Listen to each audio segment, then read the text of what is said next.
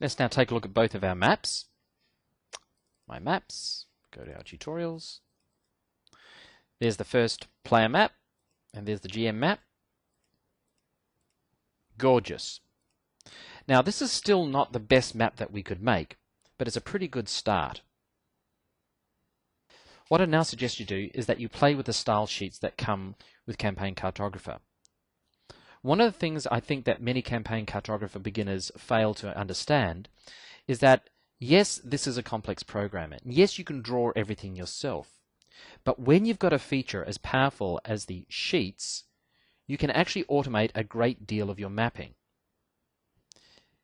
In this particular map, our black borders and our coastal fades and even our little beach fades were all automatically created using just one sheet.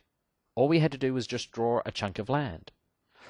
Likewise, our mountains and our forests really just required one sheet, a contour sheet used to create lovely color pattern backgrounds.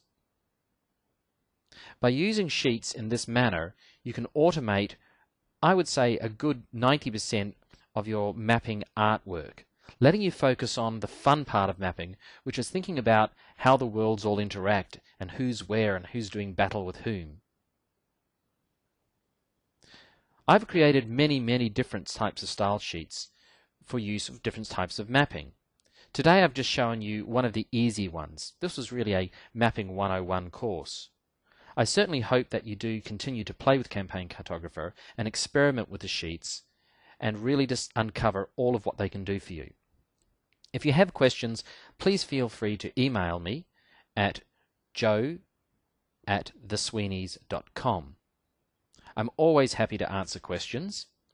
Sometimes I might be a little bit slow. I do have other things to do in my life than just mapping, but I do like mapping a lot. And with Campaign Cartographer, it certainly creates a great deal of fun. Good luck and good mapping.